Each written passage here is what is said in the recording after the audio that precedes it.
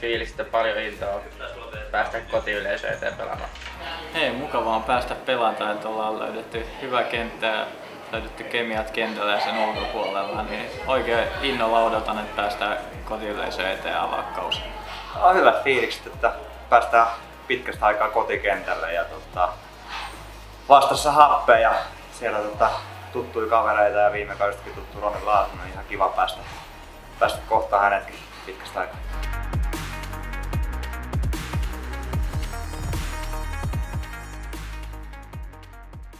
No mun mielestä tosi hyvä, että siellä on tosi hyvät olosuhteet ja yksi liiga parhaista kotihoidosta mun mielestä. No totta kai se on iso juttu ja kiva päästä niinku varsinkin näkee omi, oman seura faneja ja toivotaan, että tulee runsain joukon, mitä nyt tässä tilanteessa pystyy tulemaan paikalle ja tota, hienoa, hienoa, että tulee toivottavasti hyvä fiilis.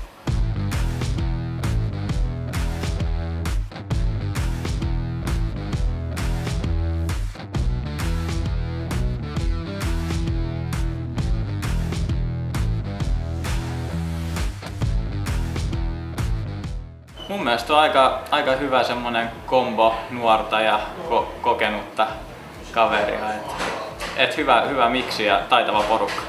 Minä? Öö, no sanotaan, että on tullut paljon hyviä uusia nuoria pelaajia, jotka ovat ottanut tosi hyvin tota, joukkueessa oman paikkansa ja toki myös noita vanhoja, jotka on ollut muutaman vuoden jo nuoret kaverit, niin nostanut profiilinsa ihan huomattavasti siitä ja uskaltanut niin kuin, tuoda vähän sitä omaa juttua tuohon messiin. Niin mä uskon, että me ollaan niin kuin, taas vuoden kokeneempi kulunut fraasi, mutta pitää paikkansa. Niin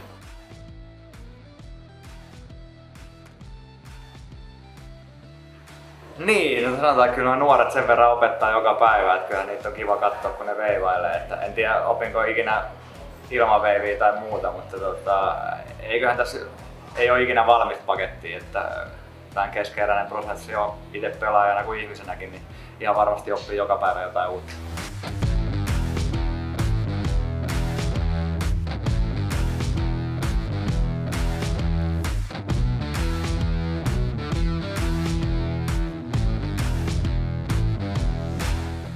Kyllä se pitäisi olla siinä pallollisessa pelissä, niin pitäisi tuoda vähän osaamista, ehkä vähän mailatekniikkaa ja tällaista hyvin syöttöä, niin ehkä sellaista.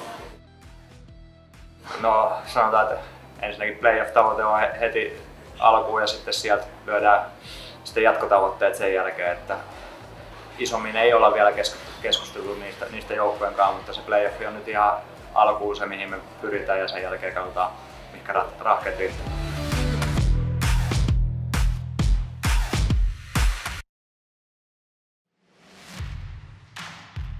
No varmasti vauhdikas, jos yhtään niin kuin happeita tiedetään miten he tulee, että he tulee varmasti niin kuin Jyväskyläisen rytkeen päälle, että siellä varmasti tulee olemaan paljon, paljon vauhtia tilanteita ja ei, en usko, tulee hirveän vähän maalinen peli.